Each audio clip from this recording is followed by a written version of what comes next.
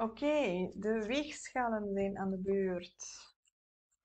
Ik ben benieuwd wat de boodschappen zijn voor weegschalen voor de komende drie maanden. Wanneer dat gaat over wat, gaan we nog verder ontdekken, dus explore.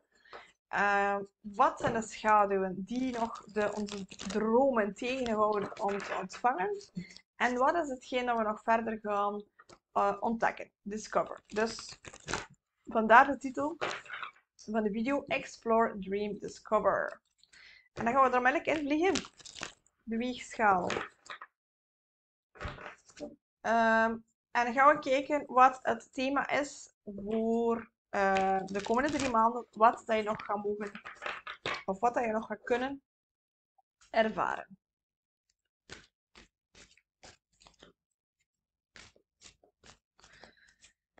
Ik ben aan het kijken naar buiten. Er zijn hier, is een vrachtwagen achteruit aan het rijden en toch nog zijn er auto's die voorbij steken. Echt, is ja, ongelooflijk hoe mensen, zeker s'avonds in de avondrush, uh, zo onverantwoordelijke keuzes maken. Misschien is dat ook wel het thema. Maar niets gebeurt zomaar, weegschaal. Als mijn aandacht daartoe gericht wordt. Oké, nog één. Yes. Oké, dan zijn er vier. Wat hebben we? Four of crystals, five of crystals, four of challenges, and seven of flames. Hmm, weegschaal.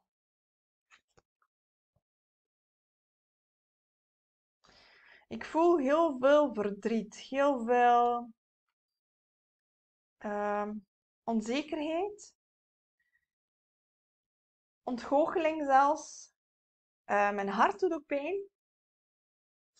Maar weet dat er betere tijden op komst zijn.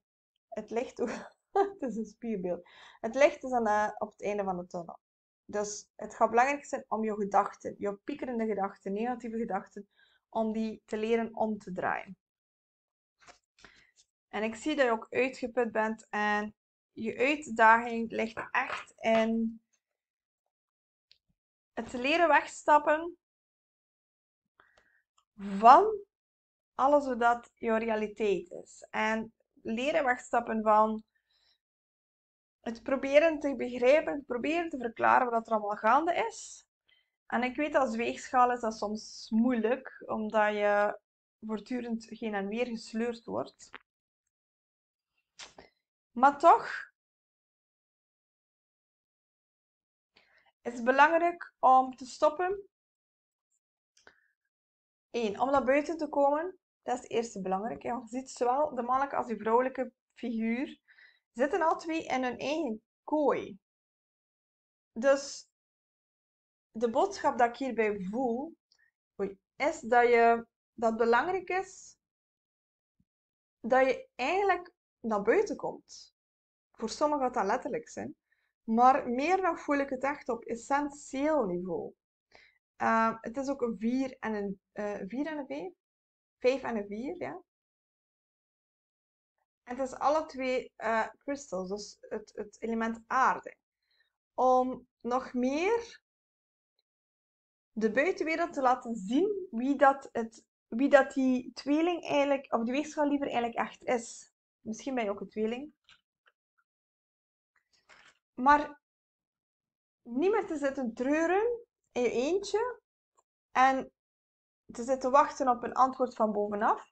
Terwijl je eigenlijk vergeet dat, er, dat kijk, antwoord zit hier. Hier wordt die beker gegeven door die dolfijn. En die dolfijn hier in de tekst staat centraal als jouw innerlijke zelf, als jouw team. En hoe meer je dat gaat gaan doen, en hoe meer je de stage gaat nemen, het podium gaat nemen en jouw wijsheid gaat gaan delen en jouw stem gaat laten horen, hoe meer je gaat zien dat eigenlijk al de dingen die je meegemaakt hebt, dat die er waren om jou krachtiger te maken. Dat die er waren om jouw eigen vuur te ontdekken, om je eigen essentie te ontdekken. Die dan weer een leiding gaan worden door voorbeeld te zijn voor anderen om ook in hun kracht en in hun vuur te gaan stappen. Ja, weegschaal, je hebt veel te lang jezelf klein gehouden. Dus treur niet langer voor de stukken die er niet meer zijn. Treur niet langer meer voor uh, de zaadjes die je geplant hebt die niet, die niet ont, ontworteld, die niet geworteld zijn. Maar dan is dat omdat die niet de juiste zaadjes voor jou waren. Die zouden niet hetgene brengen wat je eigenlijk er volledig recht op hebt. Dus je zou eigenlijk voortdurend genoeg nemen met goed genoeg, terwijl dat eigenlijk iets fantastisch, magisch, mooi op jou ligt te wachten, maar je ziet het niet. Je houdt jezelf nog vast. Ik krijg ook plots heel veel hoofdpijn nu, dus...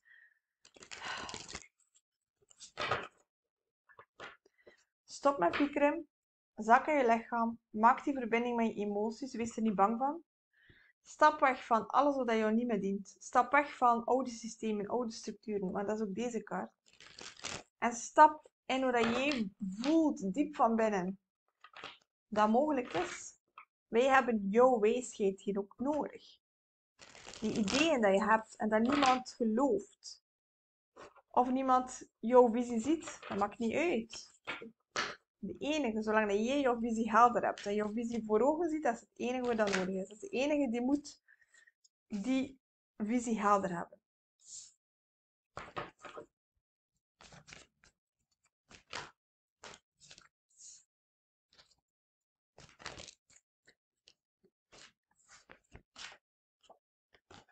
Wat zien we hier allemaal? Er staat veel verandering gebeuren. Veel verandering op jou te wachten, uh, weegschaal. Maar je houdt het zelf nog tegen. Omdat je bang bent om in je diepste emoties te stappen. Terwijl je weet dat wanneer je dat gaat doen en dat je je passie gaat gaan volgen, dat eigenlijk die tien of cups kan komen. Die diepste vervulling op elk vlak. Maar je weet ook dat dat van jou vraagt om echt volledig in die transformatie te zakken. En het is dat, want kijk, hier ook, hierachter, de lovers. Je houdt jezelf tegen, lieve schat.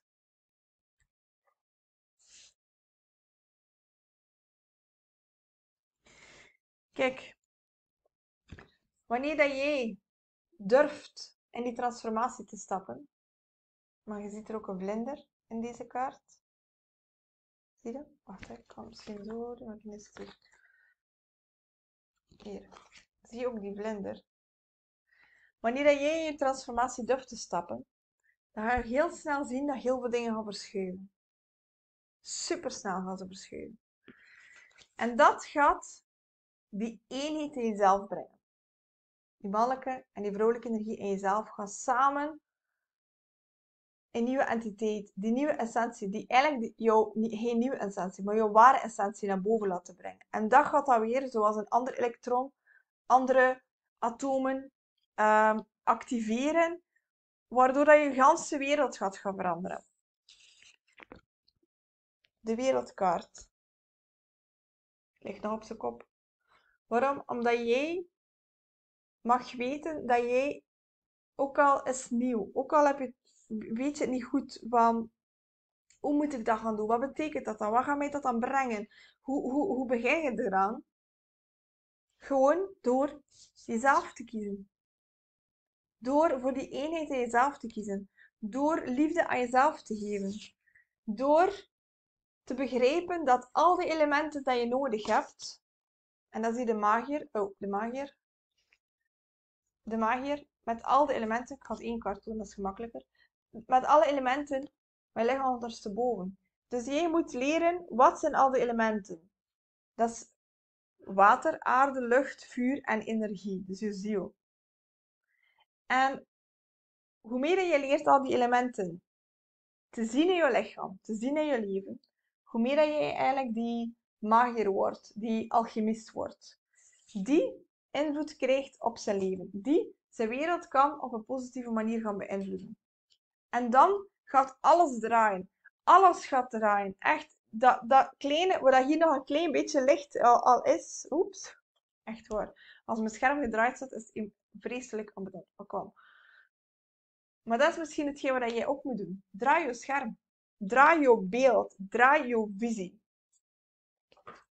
En we zien welke uh, vlammen behulpzaam kunnen zijn om jou doorheen deze transitie te merken. Want ik voel dat jouw energie echt zwaar is. Dat het lastig is. Dat, ik zou er niet van schrikken als je s ochtends jezelf echt moet uit je bed.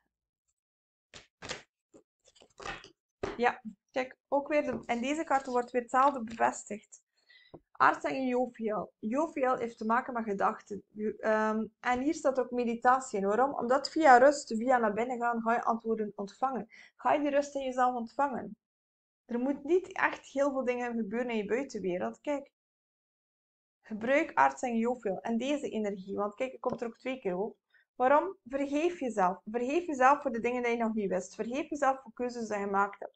Vergeef jezelf voor het feit dat je dacht dat veiligheid ergens buiten jezelf te vinden was. En vraag dan Arsingel Zatkiel en deze vlammen om jou daarin te ondersteunen, om jou daarin te helpen. Ik hou speciaal de kaarten wat dichter zodat de kleuren en de vlammen kan zien. Leer werken met de vlammen. Leer werken met ehm, de universele vlammen aan energie om eigenlijk doorheen je mind te breken. Want je mind is net zoals bij heel veel mensen ehm, de grootste blokkade op dit moment. Omdat je eigenlijk probeert veel te veel. Eigenlijk wat je doet, is je, kijkt naar je wereld, je kijkt doordat de obstakels zijn, je kijkt doordat het verkeerd gaat. En dan probeer je een uitleg of een verklaring voor te vinden. Terwijl je eigenlijk het proces moet omkeren. Dus je moet het eigenlijk draaien. Wat je nu van beneden naar boven probeert te werken, moet je eigenlijk van boven naar beneden werken. Van binnen naar buiten en niet van buiten naar binnen. Creëer balans in jezelf en dan ga je dat weer spiegeld zien, die balans in je buitenwereld. Creëer balans in jezelf en dan door die balans die al in eenheid is, door de eenheid die er al is, en dan ga je dat veel meer ook in jezelf weer spiegeld zien. Ik ben nu eigenlijk wel benieuwd welke kaart dan gaat uitkomen voor uh, de schaduwen, maar die gaat gaat over je dromen een weegschaal.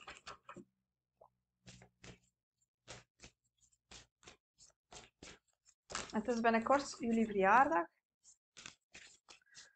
Dus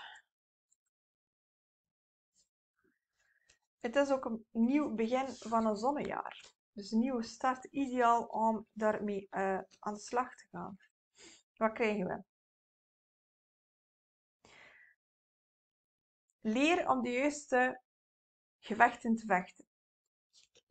Battle. En hier staat van onder uh, good, uh, kom nu toch nog zo vast. Good versus evil. Leer goed van kwaad te onderscheiden. Maar leer dat de dualiteiten die je ervaart in je leven geen maatstaf zijn om te weten waar je ergens staat in je leven. Om te weten wat je waard bent. Om te weten of je eigenlijk de liefde waard bent. En daarom krijgen we ook weer die energiekaart met flow.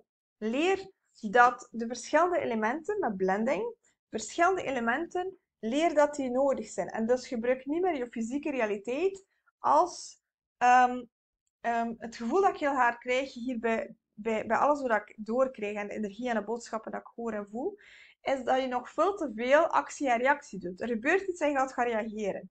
Maar dan een echte meester zelf kiest waar hij wilt gaan ervaren. Die zegt van, dat is de ervaring die ik wil. Wat moet ik daarvoor doen? En welke energie moet ik daarvoor gaan verschuiven, gaan veranderen, gaan transformeren? Wat zijn de schaduwen en de disbalans in mijzelf dat ik nog mag gaan veranderen? Om inderdaad die positieve ervaring te gaan um, uh, aan te trekken. Is dat nu een liefde, een uh, diepe liefde, of een nieuwe auto, of een uh, nieuw werk, of wat dan ook dat maar is? Dat is de manier waarop dat gaan doen. En daarvoor moet je leren dat het manifesteren, jouw leven, dat bestaat uit verschillende elementen. Hetgene dat ik daarnet gezegd heb, aarde, lucht, water en vuur. Die zich toont in je emoties, je gedachten, je fysieke wereld en je energie. En dus hoe meer je die gaat leren gaan gebruiken, hoe meer dat je eigenlijk gaat merken dat je een nieuw begin kan creëren in je wereld. Renewal, world. Dat je um, successen gaat ervaren. Dat je eigenlijk het wiel van fortuin naar je toe gaat trekken. En dus dat je het wiel van fortuin gaat laten draaien, maar op een positieve manier. Want uiteindelijk is dat je lotbestemming. Dat is je geboorterecht. En dus kan je vanuit jouw energie, vanuit het werken met de verschillende elementen, wat je daarnet gezien hebt, die flow, die magier, ga je kunnen jouw wereld gaan controleren. Maar gaan controleren niet vanuit angst, niet vanuit tekort, maar vanuit licht, vanuit liefde, vanuit uh, het zijn van een ware meester. En wat gaat de, twee, uh, de weegschaal, ik dat weer weegschaal um, nog verder ontdekken de komende, de komende, de komende, wacht oké, okay, het is geen telefoon. Ik dacht dat het een telefoon was. Um, nog verder ontdekken de komende drie maanden. Misschien ga je ook een telefoontje krijgen. Daar gaan mijn kaarten. En wat krijgen we? De Sphinx, Ten of. Oeh. Alleen maar goede dingen. Maar begint met dit. Het nieuwe is. Het nieuwe is dat alle afbraken, alle dingen die nu de komende maanden gaan verdwijnen uit je leven, die zijn er eigenlijk voor je hoogste goed. Ook al gaat het pijnlijk zijn. En ook al ga je dat hartzeer hebben, hè, want die zwaarden gaan door dat hart. Maar denk niet op die manier. Zie niet de pijn. Zie niet het verlies. Zie niet het tekort. Maar zie de zilveren randjes eromheen. Want, wat is dat? De Sphinx.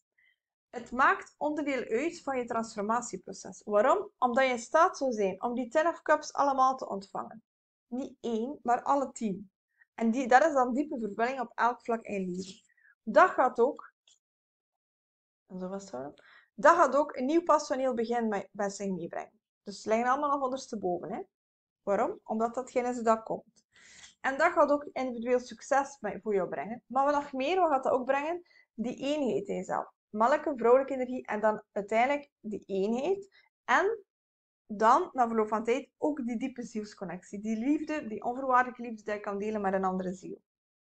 Dat is hetgene waar je de komende drie maanden, elk obstakel waar je tegenaan loopt, elke gevoel dat dingen jou ontglippen, dat dingen jou ontnomen worden, of hoe je het ook mag ervaren of mag zien, die dingen gaan er zijn om je krachtiger te maken, om je sterker te maken en om jouw ervaringen mee te geven, zodanig dat je nog kan ontdekken wat het is dat betekent om je diepste essentie hier in een fysieke vorm te leven.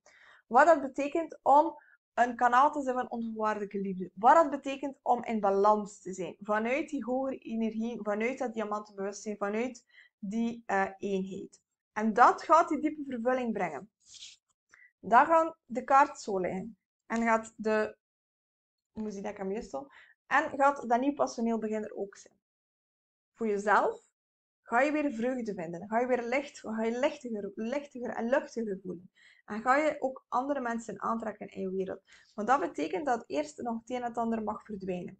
De manier waarop je denkt, de manier waarop je naar de wereld kijkt, de manier waarop je keuzes maakt, niet vanuit de dualiteit, maar vanuit de eenheid. Niet vanuit de pijn, maar vanuit van oké, ik ga in vertrouwen, ik vergeef mezelf voor de keuzes die ik vroeger gemaakt heb, want dat is nu de wereld, de realiteit in je leeft, door de keuzes die je gemaakt hebt.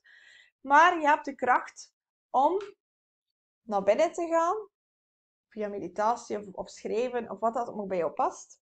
Jezelf te vergeven voor de dingen die gebeurd zijn. En uiteindelijk een nieuwe vorm van veiligheid te vinden in jezelf. Dus niet, geen veiligheid meer te vinden in de dingen buiten jou af, maar in jezelf. En dat gaat jou heel, heel veel goede vruchten uh, brengen.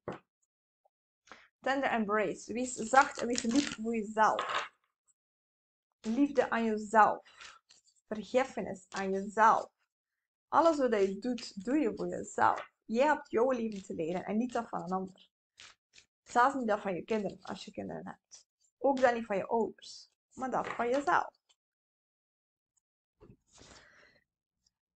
Wat hebben we nog? The Royal You. Dat is hetgeen waar je naartoe aan het evolueren bent. Waar je dan naar aan het transformeren bent. Als jij het toelaat. A great big love ligt op je pad.